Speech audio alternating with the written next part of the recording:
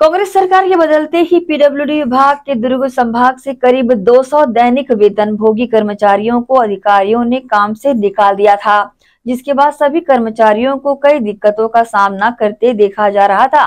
छत्तीसगढ़ राज्य दैनिक वेतन भोगी कर्मचारी संघ के बैनर तले सभी कर्मचारियों ने वैशाली नगर विधायक रिकेश सेन से मुलाकात कर अपनी समस्याओं से अवगत कराते हुए ज्ञापन सौंपा था। विधायक रिकेश सेन ने पीडब्ल्यूडी विभाग के अधिकारियों से चर्चा कर काम से निकाले गए कर्मचारियों को वापस काम पर रखने निर्देशित किया था, जिसके परिणाम स्वरूप सभी को काम पर वापस रख लिया गया। इसे लेकर सभी कर्मचारी रविवार को विधायक रिकेश सेन के निवास लोकांगन पहुँचे और उनका आभार व्यक्त किया।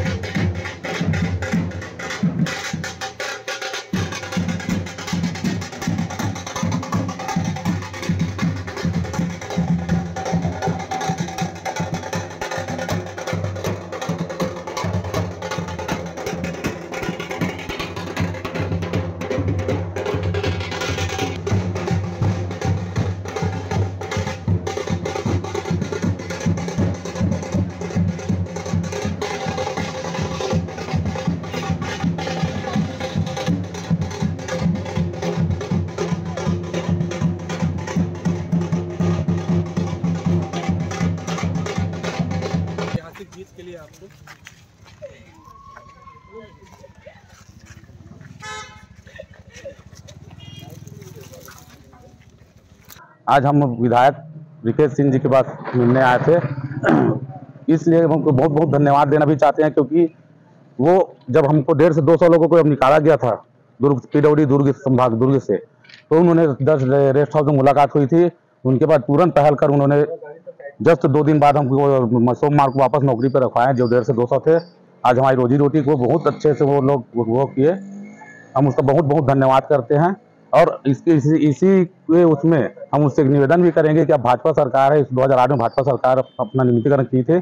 तो उसी निवेदन करना चाहते हैं कि उससे विधानसभा में क्वेश्चन उठाए।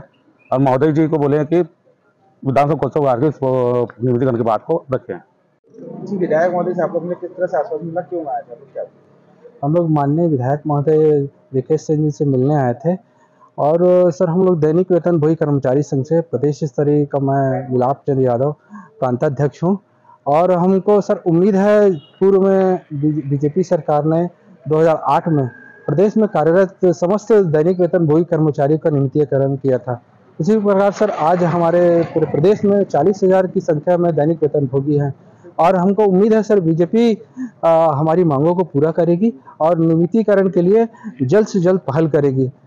उम्मीद यह है कि विधान अभी लोकसभा, आगामी लोकसभा के पहले हो जाए तो बहुत अच्छा होगा सर।